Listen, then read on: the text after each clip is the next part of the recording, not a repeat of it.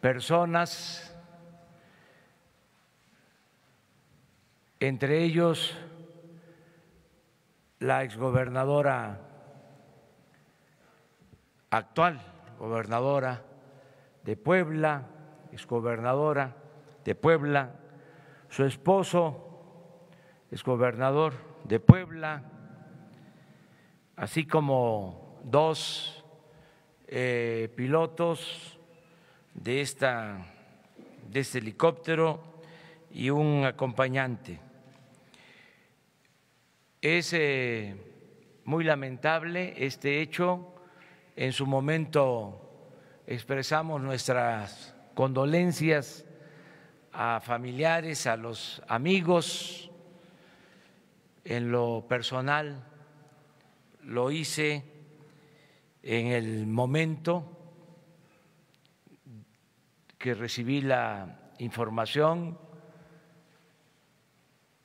lo hice público, también tuve la oportunidad de hablar por teléfono con el papá del exgobernador Moreno Valle y expresé mis condolencias y al mismo tiempo hice el compromiso de llevar a cabo una investigación a fondo y no ocultar absolutamente nada sobre las causas de esta tragedia. Hemos eh, actuado desde ayer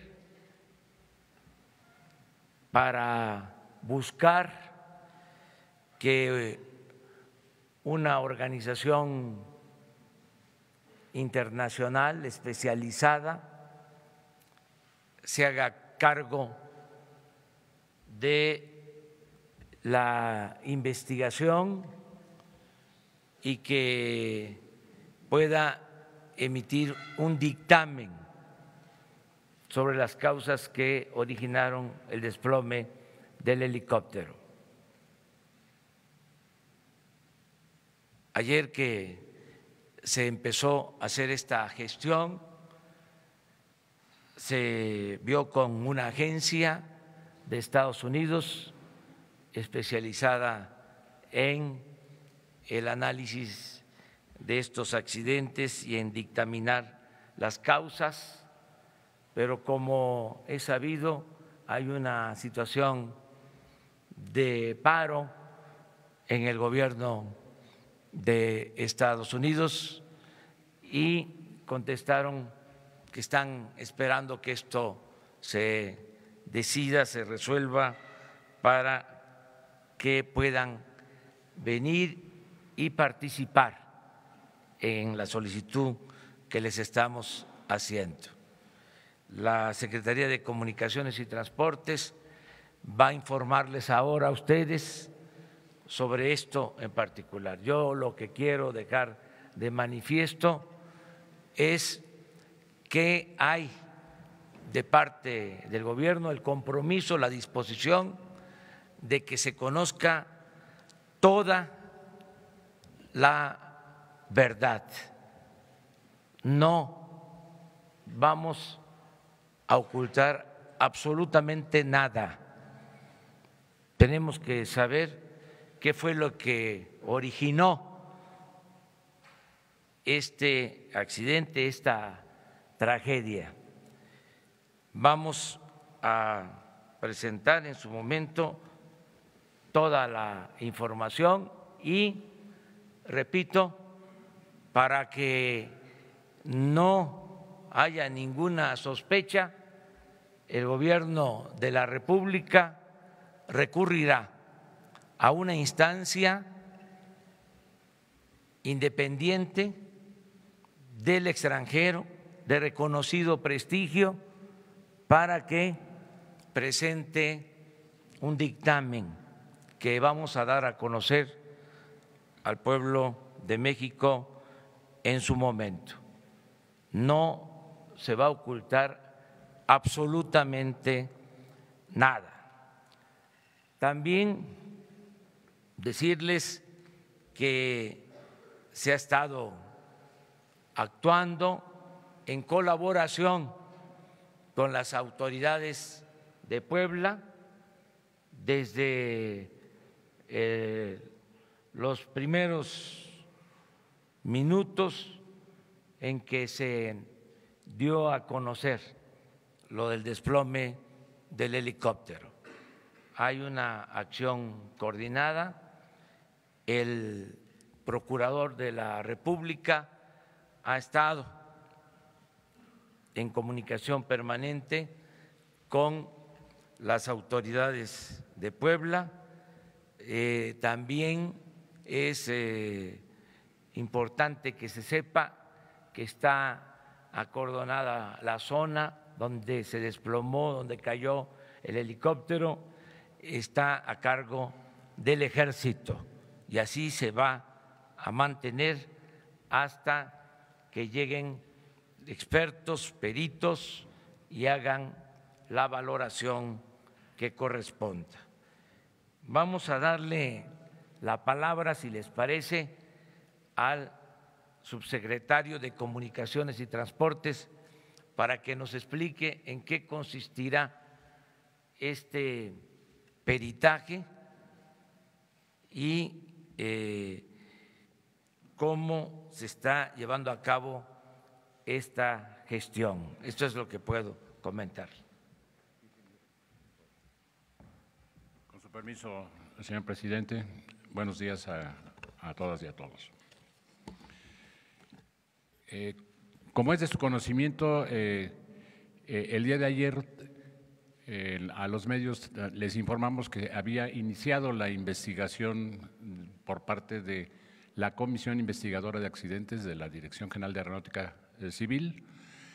Esta investigación inició a las 12 del día, una vez que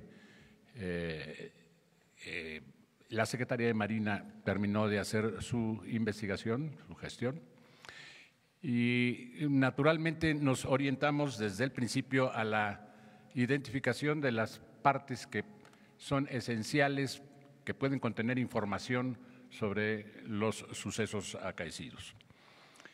Ah, pudimos obtener la unidad de adquisición de datos, eh, esta unidad de adquisición de datos contiene información detallada de los eh, movimientos de la aeronave y de las eh, principales condiciones de, operación de la misma, de tal suerte que esperamos poder recuperar información tanto de la, de la conducta de la aeronave como de los motores porque también obtuvimos información, también obtuvimos eh, componentes que pudieran, que pueden ser enviados directamente a los fabricantes, a los laboratorios de los fabricantes.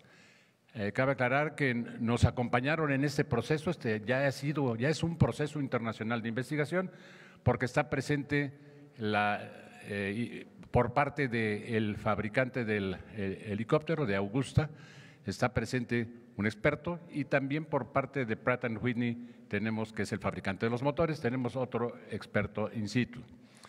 Como lo ha comentado usted, el señor presidente, nos ha dado instrucciones de, tener, de hacer de esto una investigación totalmente transparente y se ha solicitado el apoyo del National Transportation Safety Board de los Estados Unidos, que es la el Consejo de Seguridad del Transporte, una institución muy reportada, independiente del, propio gobierno americano. Eh, lamentablemente por, los, eh, eh, por el cierre de, gobierno no nos han podido dar respuesta, nos informaron que estarían en la mejor disposición, naturalmente, de apoyarnos, pero que por el momento no podía viajar ninguno de sus peritos especialistas. El, dado que eh, los motores también son, son fabricados en Canadá. También existe en Canadá una institución con alto prestigio que es el Consejo de Seguridad del Canadá, al que estamos contactando y del que esperamos tener noticias el día de hoy para ver eh, qué técnico nos puede acompañar en la realización de las investigaciones. En adición a esto, estamos eh, viendo si es posible contar con peritos también europeos que den de tal suerte que tenga, haya certeza absoluta sobre lo que haya ocurrido o al menos tener información completa eh, que no dé lugar a, especulaciones ni a dudas por parte de, absolutamente nadie. Eh, la eh, investigación va en curso, tardará naturalmente en obtenerse los resultados, en enviarse a los laboratorios, en que sean analizadas eh, los registros de, que se disponga, toda vez que el accidente fue un accidente en donde hubo altas temperaturas, eh, no se cuenta con, en esa aeronave con eh, lo que se llama una caja negra blindada y contra incendio. sin embargo, por lo que pudimos observar, es posible extraer información en las condiciones en las que se encuentra ahorita esa caja. Habrá que verla, eh, habrá que ver pues con los, con los peritos expertos eh, si nos puede esta, eh, proporcionar información y a qué velocidad podría hacerlo un laboratorio especializado. Eso sería lo que informaría, señor presidente. Muy bien, pues esa es la información en lo general y contestamos preguntas. Empezamos por acá.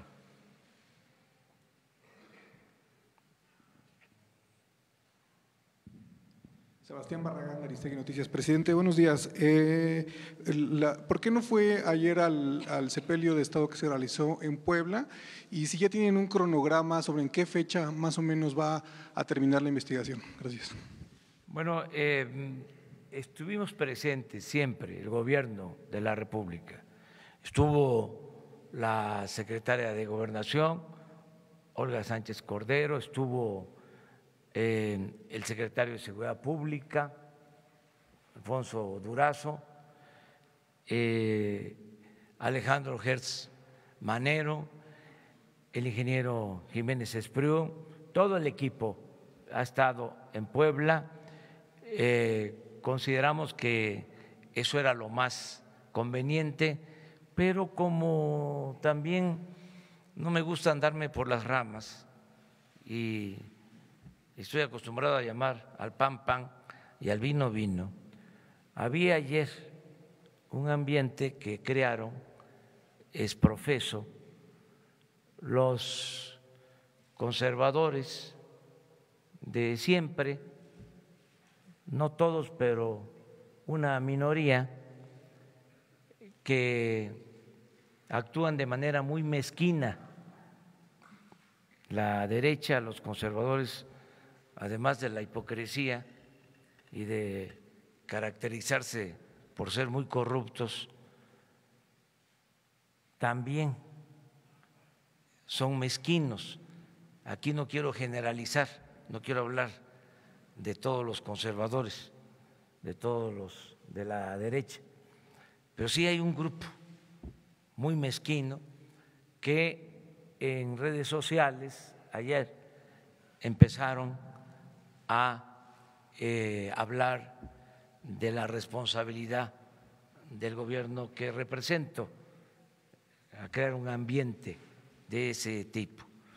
Y por eso también hubieron expresiones de protestas en eh, el acto que se hizo en Puebla eh, y también expresiones en contra de la secretaria de gobierno. Entonces, para no hacerles el juego a estos provocadores mezquinos, pues decidí actuar de manera prudente, no caer en ninguna provocación y esperar al día de hoy para informarles sobre todo esto. No sé, vamos a esperar a ver cómo se van dando las cosas para actuar, este, más bien para ir en el momento adecuado. porque ya estamos actuando. Yo les eh, puedo decir que estaba en la casa de ustedes, sentándome a la mesa, cuando recibí este, el informe y de inmediato, eh, no solo di instrucciones de que se actuara, sino subí un mensaje a el Face, al Twitter, para que el gobierno en su conjunto actuara. Ya una vez que desgraciadamente se confirmó de que en efecto se había eh, producido esta tragedia, entonces ya eh, puse otro texto para expresar, como ya lo, como lo dije, mi pésame a los familiares y hacer el compromiso de llevar a cabo la investigación y actuar. Acerca del tiempo que nos va a llevar la investigación, pues este vamos a procurar que sea lo más pronto posible, pero son cuestiones técnicas y va a depender de eh, la agencia que acepte eh, realizar el dictamen y eh, de otra serie de condiciones, como por ejemplo este paro que hay en el gobierno de Estados Unidos. Se va también a procurar que no sea solo en Estados Unidos, como aquí lo mencionó el ingeniero, que se vea la posibilidad de un dictamen en Canadá, en un país europeo, pero sí nos importa mucho el que se aclare, para que no quede ninguna duda.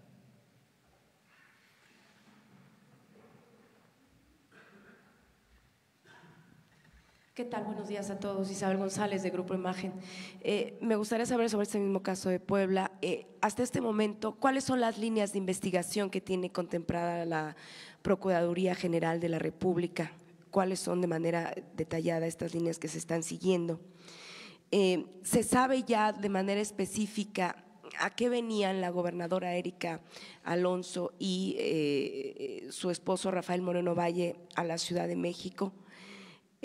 Y me gustaría insistir en esta cuestión que usted señaló, presidente, de estos eh, movimientos en las redes sociales.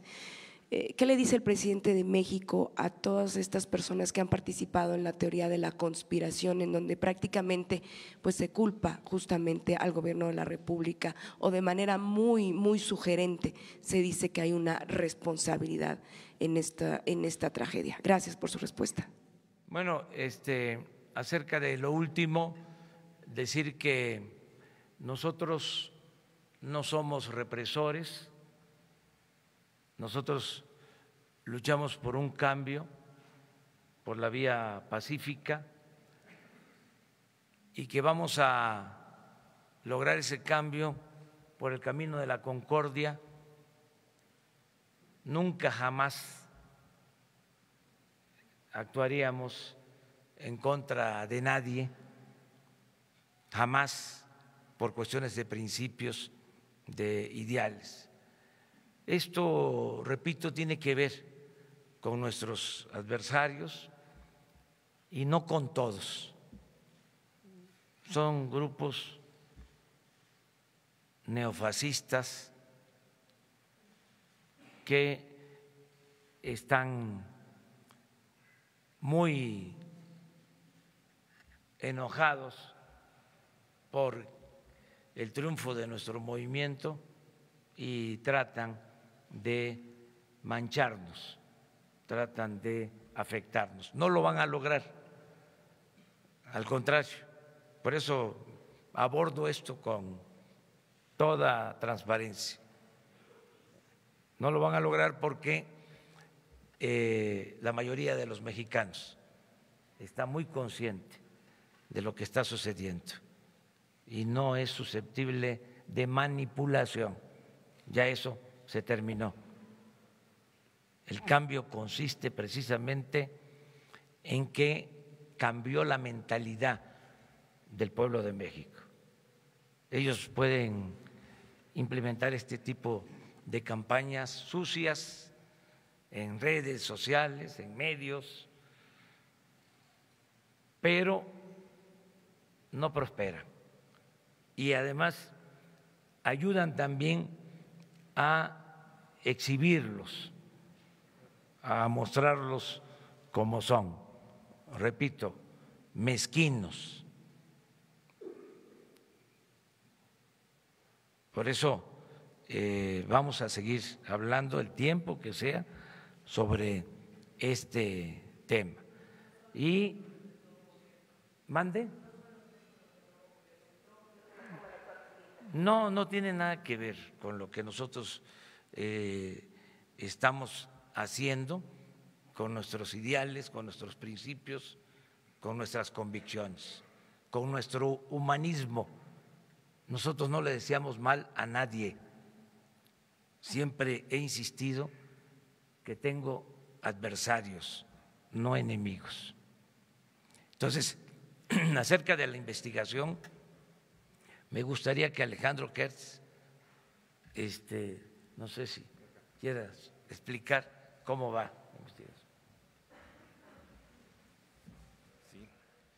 Eh, en respuesta a su pregunta, hay dos premisas fundamentales para una investigación de este tipo. Primero, la más absoluta transparencia.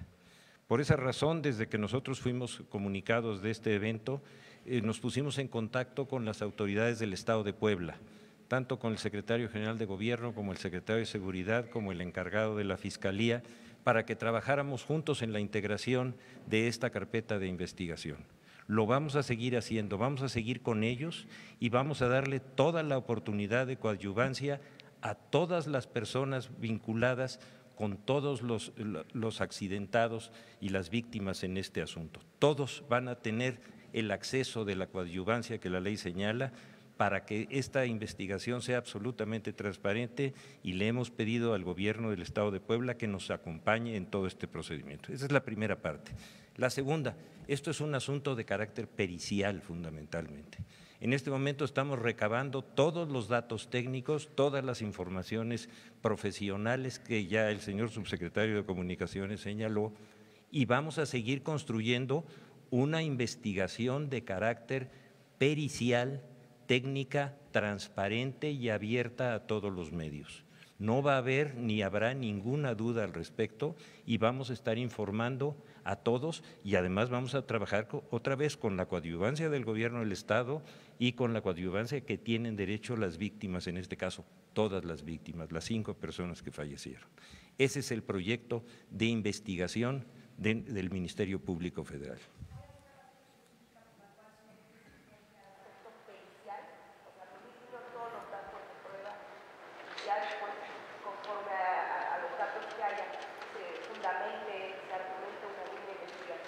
Las técnicas de investigación tienen que ir a partir de los momentos en que tenemos los primeros indicios. Esos indicios nos indican en este momento, con todas las diligencias que se han levantado, que nuestra técnica de investigación tiene que estar sujeta a los, diversos peritajes. Como estos peritajes, ya lo dijo el señor presidente, no van a ser nada más de mexicanos, sino lo vamos a abrir a todas las agencias y a todas las, eh, informaciones que tengamos de carácter internacional, tanto de la fábrica que produce esos, esos eh, helicópteros como de las turbinas, como de las, de las instituciones que están capacitadas a nivel mundial para dar eh, dictámenes técnicos sobre un accidente de esta naturaleza. Muchas gracias a todos.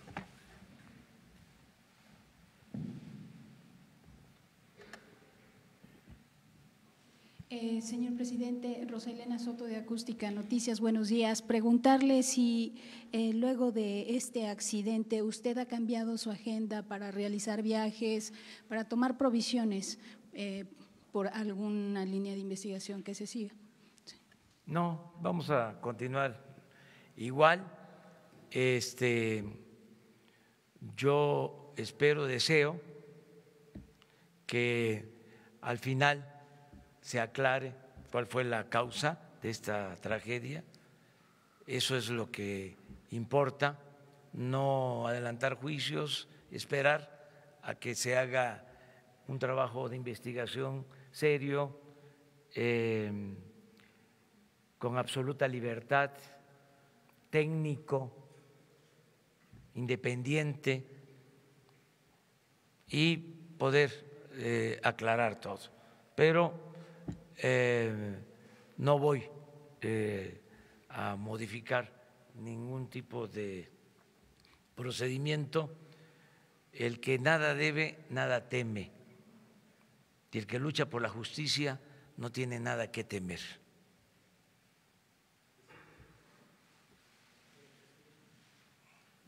A ver, pues se me hace mal que yo te brinque a ti primero. Buenos días, Dos cuestiones. La primera, eh, ¿qué tanto van a esperar a esta agencia de Estados Unidos? Digo, porque quiero entender que hay ciertas pruebas que no pueden esperar tanto tiempo para para tener un resolutivo, si van a, si van a llamar ya a la agencia de Canadá o a los peritos de, Europa, ¿qué, cuál, cuál, es este plazo de tiempo que están pensando tomar. Y la segunda, si ha tenido algún tipo de comunicación con Miguel Barbosa y ha tenido, pues, este, no sé, tiene algún tipo de, indicio que para, para el ex candidato en el futuro. Bueno, este, miren, Ahora que estuvimos eh, analizando el caso, recibiendo más información, quiero decirles que yo he estado pendiente em, desde los primeros momentos. He estado eh, conduciendo, coordinando toda la acción y dando instrucciones. Por ejemplo, lo primero que expresé es de que no se ocultara nada de información, que se informara constantemente. Y también di la instrucción de que se abriera la investigación para que instancias internacionales emitieran el dictamen. Di la instrucción al secretario de Seguridad Pública y a la secretaria de Gobernación. Siempre estado. Ahora en la mañana que se reúne todo lo que se tiene de información, todas las evidencias, que opinan todos. Les comparto que hay eh, una em, visión, un criterio. Los que son especialistas, quienes trabajan en la aviación, saben que estos eh, dictámenes llevan tiempo.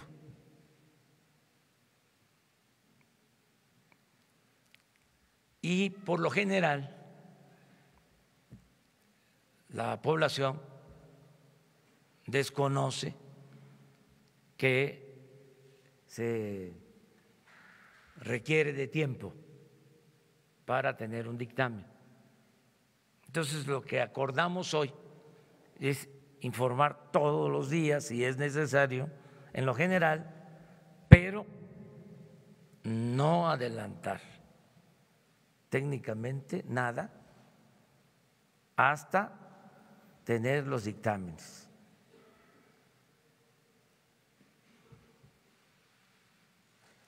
Estar informando en general de todo lo que se está haciendo pero esperar a que los especialistas resuelvan, para que no vayan a salir por ahí eh, técnicos especialistas que saben de esto, a decir, no pueden ustedes ya dictaminar nada, este, dar una opinión, porque no hay elementos.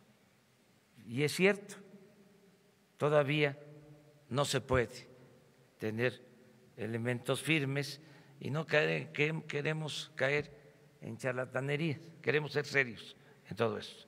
Además, este, no tenemos por qué apresurarnos a nada ni ocultar absolutamente nada.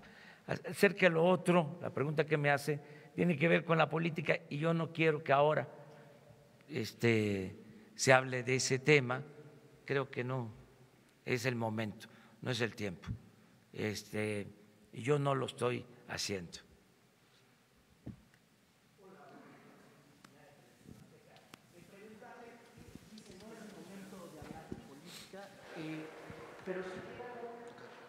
si, si, habrá algún apoyo especial de la Federación para Puebla, es decir, en materia de seguridad en las siguientes horas y me queda claro que no, no va a hablar de política, pero si ya ha habido una comunicación de parte de la titular de gobernación con el presidente o con los diputados de allá en torno a, a lo que ocurrirá en las siguientes horas con el nombramiento ya de un gobernador interino y aparte pues todo este camino largo que viene donde se tiene que convocar de nueva cuenta a comicios. Sí, eso se tiene que hacer, es un procedimiento legal eh, hay una notificación en estos casos que se hace al Congreso. el Congreso, por mayoría simple, elige a un gobernador interino que tiene un plazo de tres meses hasta cinco para eh, convocar a elecciones. Ese es el procedimiento constitucional eh, y eso es lo que se va a llevar a cabo. Ah, pero hasta ahí me quedo. Gracias. Gracias. Buenos días. Nayeli Roldán, de Animal Político. Eh, preguntarle eh, respecto a este tema justo de Puebla, si se está considerando un ajuste presupuestal, digamos, eh, sobre eh, los recursos que iba a recibir el INE o que va a recibir el INE, que tiene un recorte de 950 millones de pesos y que ya había advertido que le sería difícil organizar los comicios del próximo año y ahora pues tendría que ayudar justamente en el proceso electoral de Puebla. ¿Se estaría pensando en un reajuste?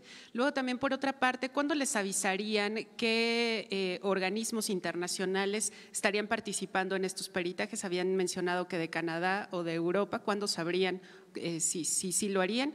Y eh, la última, eh, ¿a qué grupos en específico se, se refiere cuando menciona que son neofascistas? ¿Han identificado quiénes son? ¿De qué se trata esto? No, porque actúan en el anonimato, por lo general, en redes sociales o con robots. Eso es este, muy común en redes sociales no tarda y un investigador ya informa sobre eso, si no es que ya lo hicieron. Pero este, tienen esa intención de eh, calumniar bajo la vieja consigna de que la calumnia cuando no mancha tizna, pero no van eh, ni a manchar ni a tiznar.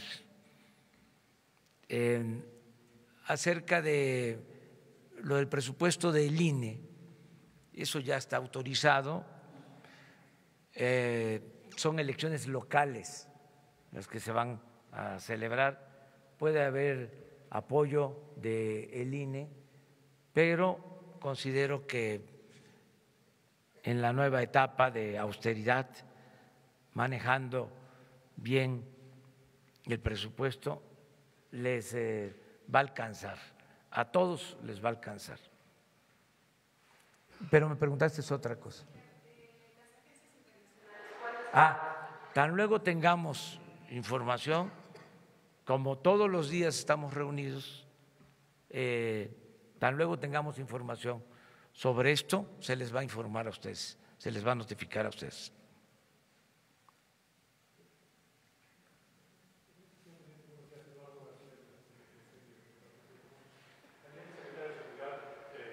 Nos, reportó que no se habían encontrado explosivos eh, en la nave eh, sin estrada.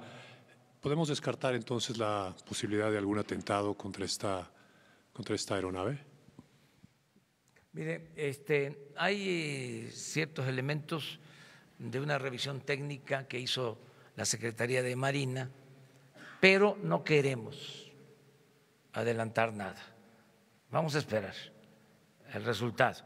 Es un asunto muy serio, es una tragedia y queremos por eh, el bien de todos, principalmente de los familiares de las víctimas, actuar con mucha seriedad y que se tenga eh, un dictamen eh, serio, eh, responsable, creíble, que no deje motivos a dudas.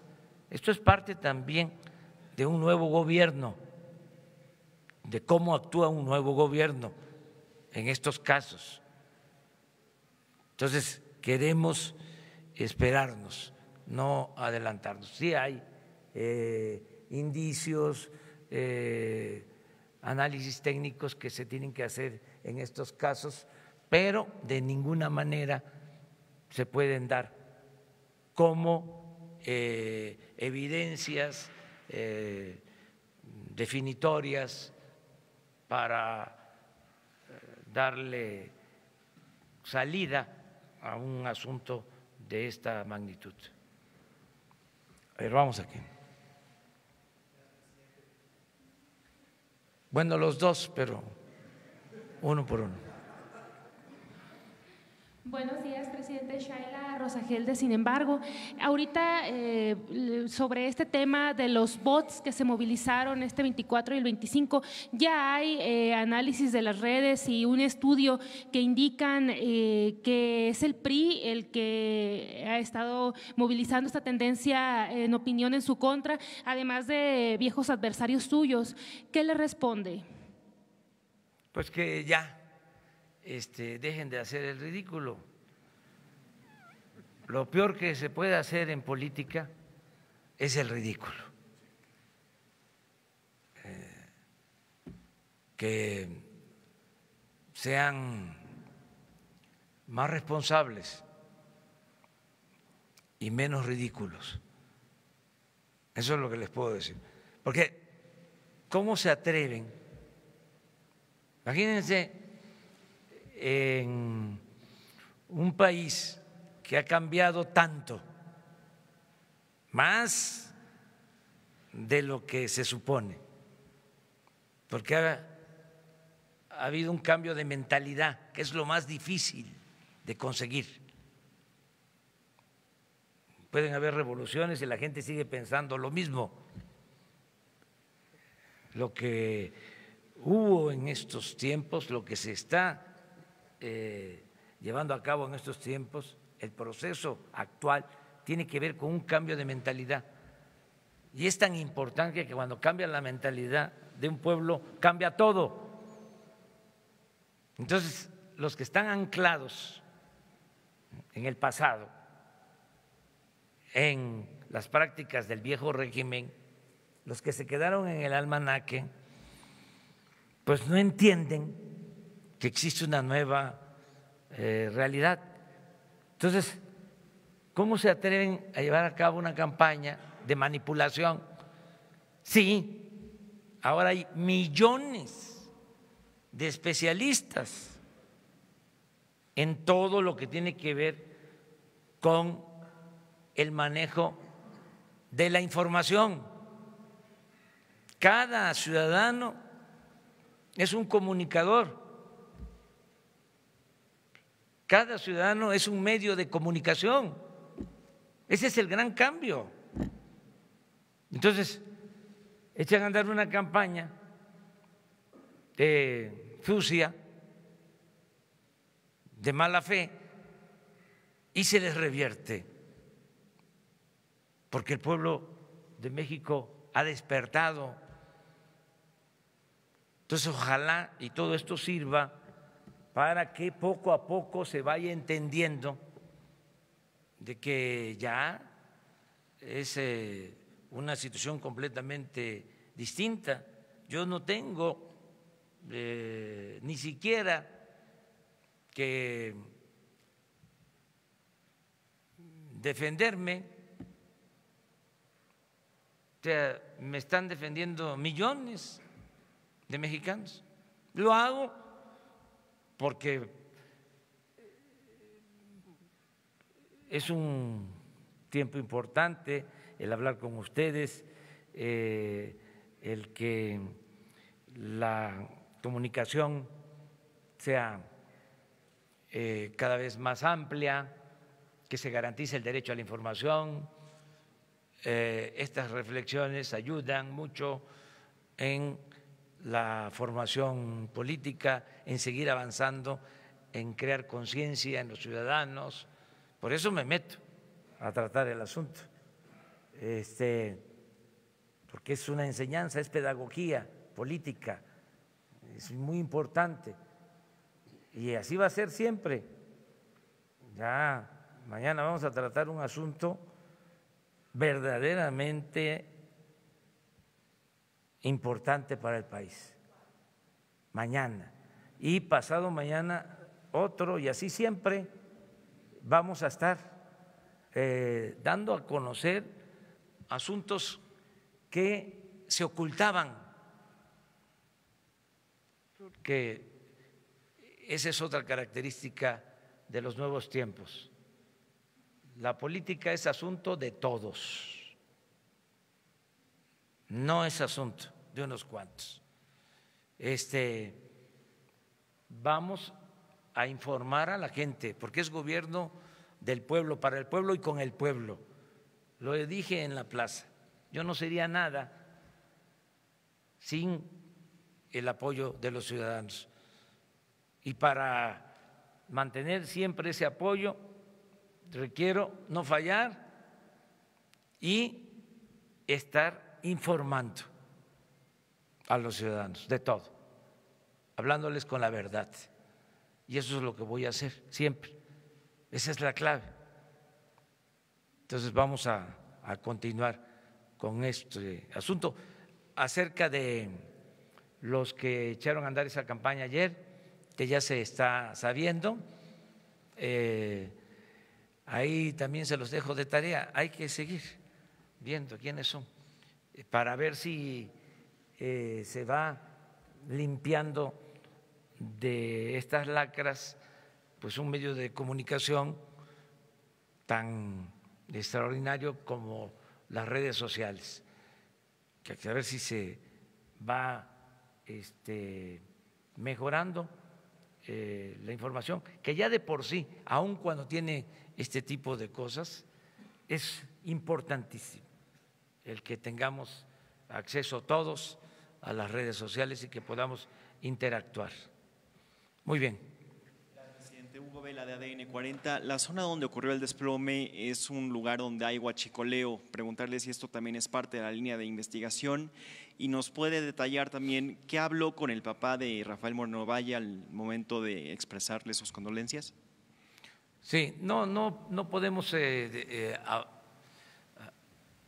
decir nada acerca de causas porque no tenemos, eh, insisto, todos los elementos. Hay que esperar a tener el dictamen. Em, lo que hablé con el papá de Rafael pues fue el expresarle mi pésame y que lo transmitiera a todos sus familiares. Es una situación muy lamentable, muy difícil para cualquier familia que pierde un ser querido. Son momentos de eh, mucho dolor, de mucha tristeza. Eh, entonces, eh, eso fue lo que expresé. No lo he podido hacer con los familiares de la gobernadora porque no ha habido la posibilidad, pero ya lo expresé también públicamente cada vez que hay un deceso, una tragedia, la pérdida de vidas humanas, de amigos, conocidos, de ciudadanos, siempre procuro eh, transmitir mi pésame. No lo hago en todos los casos porque pues no podría, pero es muy doloroso el que un ser humano pierda la vida, en este caso cinco de este, personas. Es muy lamentable, este, muy doloroso para sus familiares y por eso nuestro afecto, nuestro cariño, nuestra solidaridad sincera a familiares y a los amigos.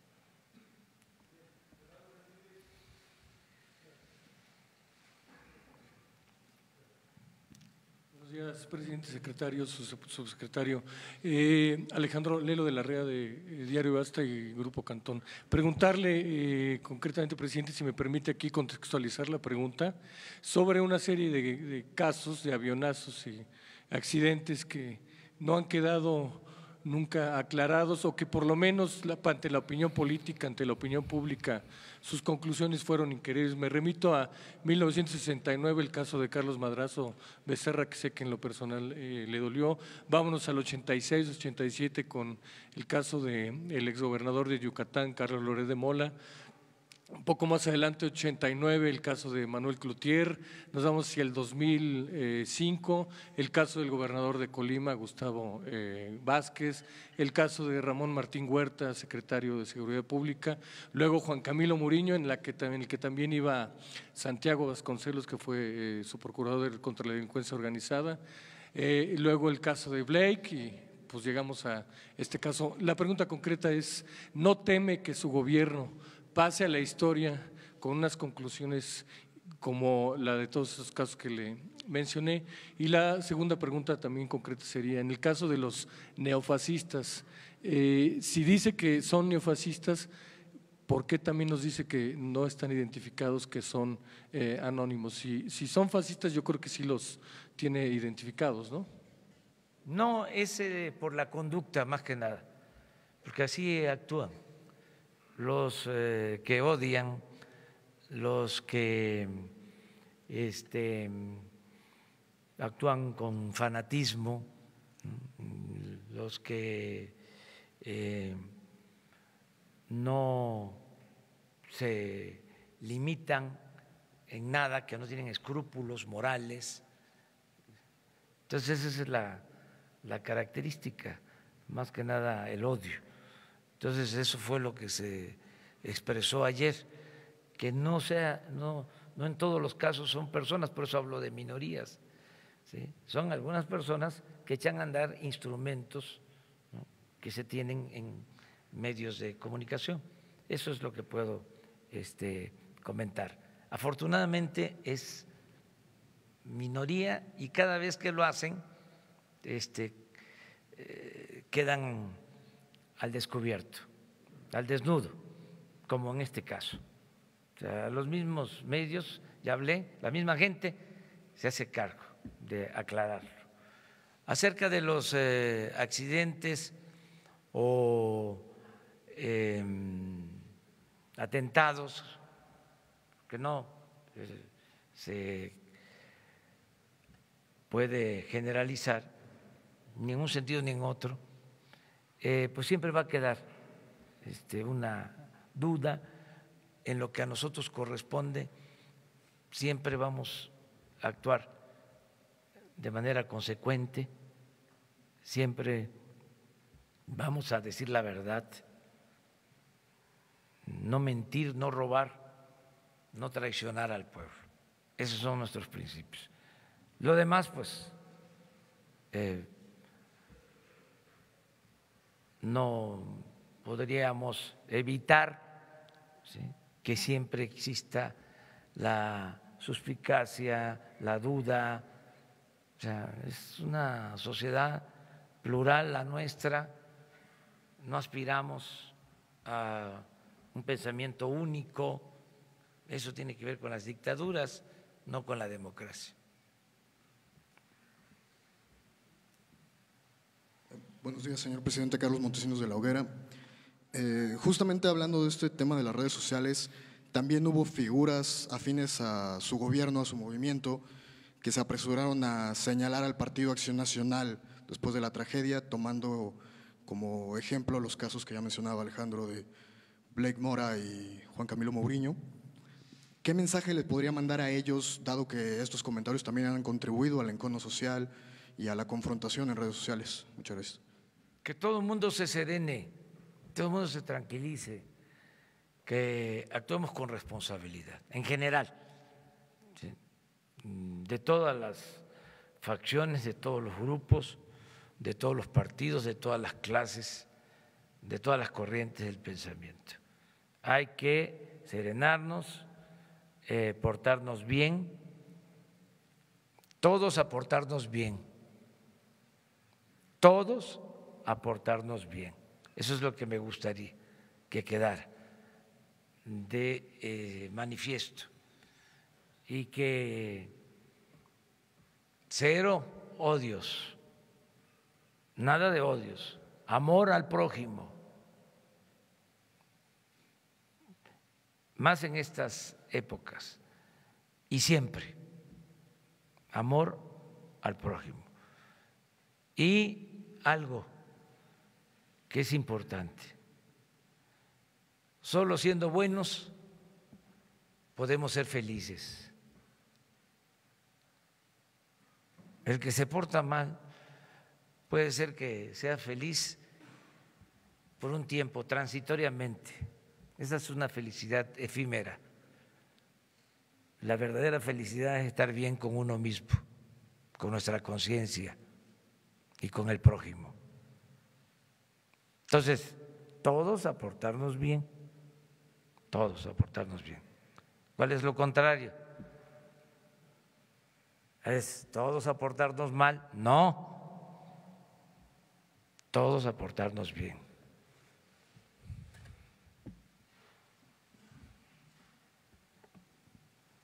Buenos días, presidente Antonio López del diario La Razón. Eh, ayer también fue criticada la ceremonia luctuosa por ciudadanos en redes sociales quienes lamentan que se, que se le llame tragedia nacional cuando dos políticos mueren, siendo que todos los días fallecen miles de ciudadanos y no solo por accidentes, sino por asesinatos. En esa materia, insistir en cómo va este sistema eh, de información para saber cuántas personas son asesinadas a, nivel nacional. Eh, cuando dio su primer conferencia como presidente de la República nos señaló que tardaría una semana o dos semanas. Preguntarle si el primero de enero de 2019 ya va a tener información al respecto. Eso por una parte. Por la otra, si me permite preguntarle a la secretaria de Gobernación. Ayer la presidenta nacional de Morena declaró a la razón eh, pues que estas calumnias son tontas y absurdas eh, en contra de Morena. Preguntarle a la secretaria cómo se siente, eh, cómo se sintió ante este primer enfrentamiento con la sociedad enardecida, quienes pues estuvieron gritando asesinos al, gobierno de, la República. Gracias. ¿Cuál fue la primera? Sobre, sobre este sistema de... De información. Sí, ya empezamos mañana a darles información sobre eso. Eso es lo que contesto. Lo otro, pues eh, yo quiero expresar eh, mi orgullo por la actuación de la secretaria de Gobernación, la licenciada Olga Sánchez Cordero. Es una mujer con principios y con arrojo que nos representó el día de ayer y recibió eh, estas eh, manifestaciones de protesta, que tampoco creo que hayan sido muchas, no tengo toda la información, pero ella les va a decir, eh, desde luego, injustificadas y tiene todo nuestro apoyo, todo nuestro respaldo. Hoy, en la reunión que tuvimos de seguridad, destaqué eso, agradeciéndole de que haya eh, actuado en nombre de todo el gobierno de la República con mucha eh, eh, responsabilidad, con mucho decoro y con aplomo que se requiere también en todo momento. La política tiene que ver con tres cosas, con cabeza, con corazón y con carácter. Entonces vamos a dejarle a ella que este, dé su punto de vista, sin, es una sugerencia respetuosa, sin este, ahondar mucho en esto, porque lo que queremos es buscar soluciones eh, en armonía, la reconciliación, la paz, el amor. Pero como lo estás solicitando, que la licenciada se exprese. Y si les parece, con eh, la intervención de la licenciada terminamos y mañana nos vemos aquí. Gracias, presidente.